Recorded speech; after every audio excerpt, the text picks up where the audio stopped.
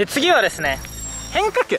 変化球のことについてちょっとあのお聞きしていこうかと思います。一番良かった時先発して10奪三振とかほとんどフォークで取れたりとかしたんでフォークに助けられたっていうのが多分今シーズンのことなのかなと。思う立たせつつここっから抜けていく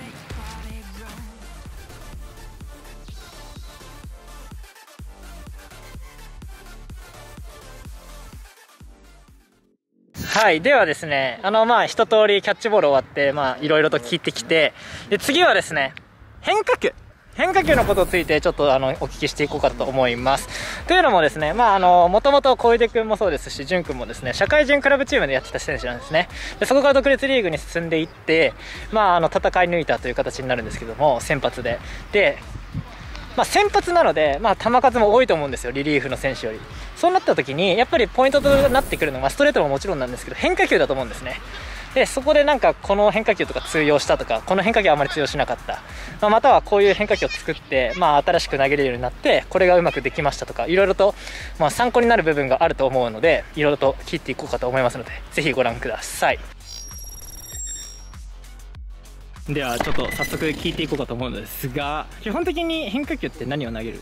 変化球はクラブチーム時代から変わってないですけどカーブとスライダーとフォークがあってでまあそこにストレートっていうもう本当に少ない球種ですけど、うん、まあ、それで打ち取っていくみたいな感じです、全部本当に大きい曲がり。うん、細かいカットボールとか器用じゃなくて、あの下手くそなんでまあできればでも投げるようにしていきたいっていうのそうですね。できれば。できるなら。なるほど。じゃあちょっといろいろと聞いていこうと思うんですがまあ自分の中でこれやっぱ使えたなみたいな。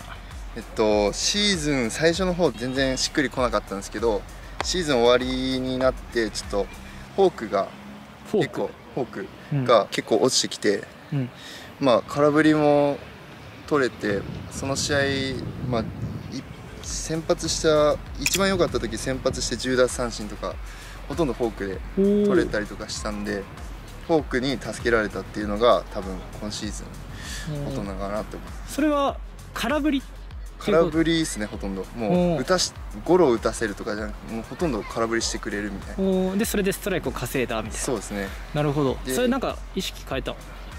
うんと指の位置と意識変えてて、うん、まず意識としてはこの首。手首。手首が絶対にリリースで寝ない、うん、こっち。にこっち側に行ったらフォークは絶対負ける。リリース時に手首が寝ない。そうです。もうこうならない。うん、これが寝ないってことだよね。寝ないってこと結構あの寝な寝かせないとか立たせるとかってよく言う人いると思うんだけどこれが寝ないでいいよね。寝ないです、うん、じゃあ立ってるっていうのは？立ってるっていうのはもうこうこういう状態。もうまっすぐどの時点でもこう、うん、それを意識した？それを意識した。結構。であとは、ね、まあ、変化球で一番やっぱ重要してるのがストレートと同じ腕の振りっていうのはもう本当に今シーズン入ってからずっと意識してて、うん、その中で手首が寝ない。寝たらもう変化球はもう終わり。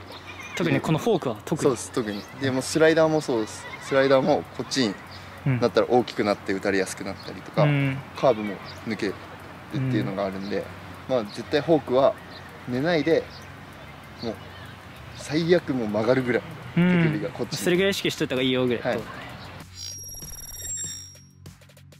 これが今の1個目の意識で、うん、2個目が立たせつつここっから抜けていく。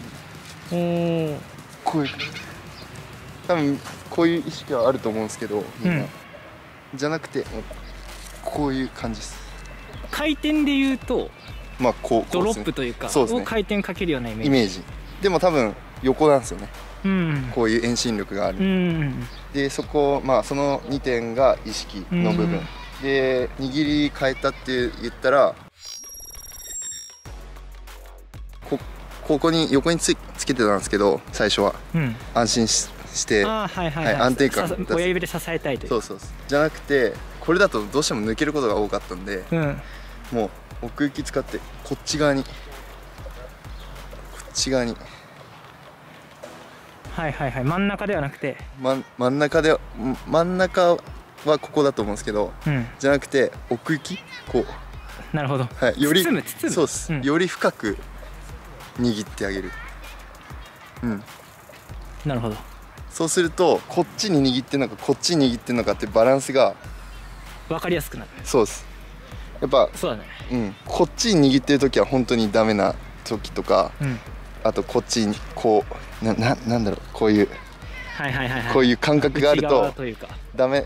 もううん。どっちかに傾いてたらダメなんで、うん。もう均等になるのが一番もうこう奥行き出してうん。包み込む感じが一番、うん。うん両方のバランスがいいなって思ったんでちょっと投げて続けてみたら意外と落ちるようになったりとか。うんうん空振りが増えてきたんでまあフォークが一番今シー今シーズンはこれでほ三振結構取れたんじゃないかなって思います。カウントも？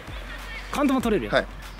なんかその空振り取りに行きたい場合とカウントを取りに行く場合とかだとその変化量とかあのなんていうか落ち幅とか変えたりしてる。あ落ち幅までは変えてないですけど変えてないけど。狙いどころ？うん。例えばキャッチャーのミットに投げるときはカウント球、うんうんうん。キャッチャーめがけミットにめがけて投げるときはカウント球。うん。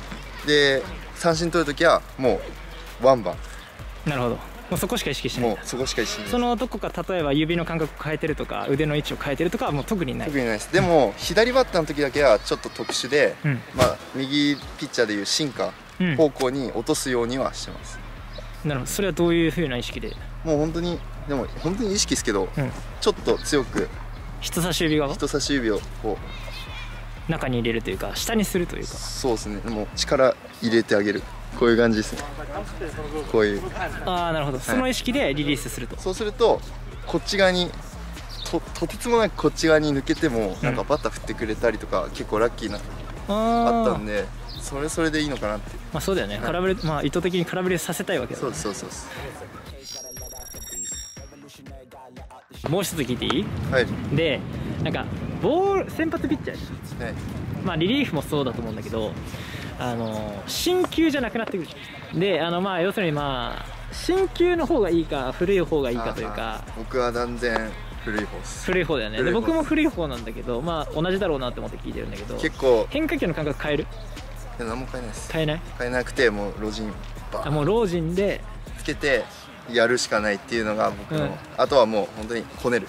こねる。さ新球の時は。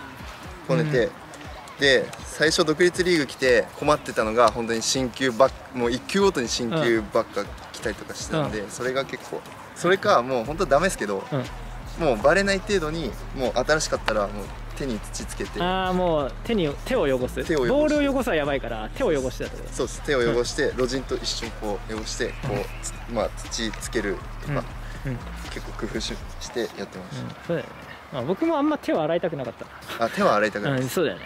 うん。老人で、ちょっと、カサカサにしたい感じでしょ。そうっす。もう、うん。てかもう本当にべっとりつく。そういうことだよね。了解です。なるほど。わかりました。いろいろとありがとう。ございましょ。よっしゃ。僕が急速アップを求める際に一番おすすめというか意識してほしい移動の仕方がこれです